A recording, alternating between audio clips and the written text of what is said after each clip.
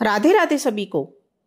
पापा कुंसा एकादशी व्रत तेरह अक्टूबर या चौदह अक्टूबर को रखा जाएगा। इसे लेकर के बहुत ही कंफ्यूजन है। तो इस वीडियो को देख करके आपका कंफ्यूजन दूर हो जाएगा। लेकिन वीडियो को देखने से पहले यदि आपने हमारे चैनल को सब्सक्राइब नहीं किया है तो प्लीज़ सब्सक्राइब ज़रूर कर लें और वीडियो को लाइक करें, दूसरों के साथ शेयर करें और कमेंट बॉक्स में राधे राधे ज़रूर लिखें। अश्विन माह के शुक्ल पक्ष की एकादशी तिथि को पापा कुंसा एकादशी का व्रत रखा जाता है। एकादशी का व्रत भगवान विष्णु को समर्पित है। एकादशी के दिन विधि पूर्वक पूजा करने और व्रत रखने से प्रभु नारायण की विशेष कृपा प्राप्त होती है। धार्मिक मान्यताओं के अनुसार पापा कुंसा एकादशी का व्रत करने से हर तरह के पाप मिट जाते हैं और धन धान्य, सुख समृद्धि की प्राप्ति होती है। तो आइए जानते हैं कि अक्टूबर में पापा कुंसा का व्रत कब रखा जाएगा और पूजा का शुभ समय क्या रहेगा?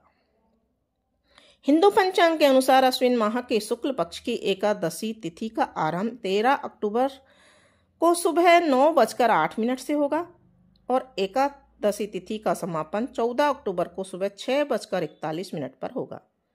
तो पापा कुंसा एकादशी का व्रत तेरह अक्टूबर रविवार को रखा जाएगा। पापा कुंसा एकादशी व्रत के पारण का समय? चौदह अक्टूबर को ही किया जाएगा। बता दें कि एकादशी का पारण द्वादशी तिथि में किया जाता है।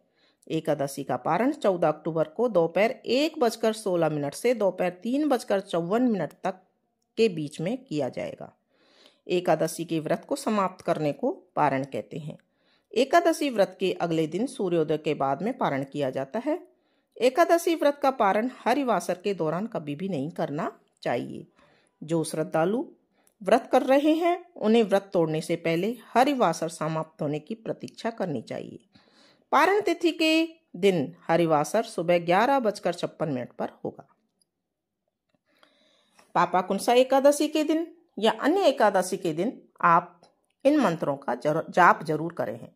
तो सबसे पहला मंत्र है ओम नारायण विद्यहे वासुदेवाय धीमहि तन्नो विष्णु प्रचोदयात।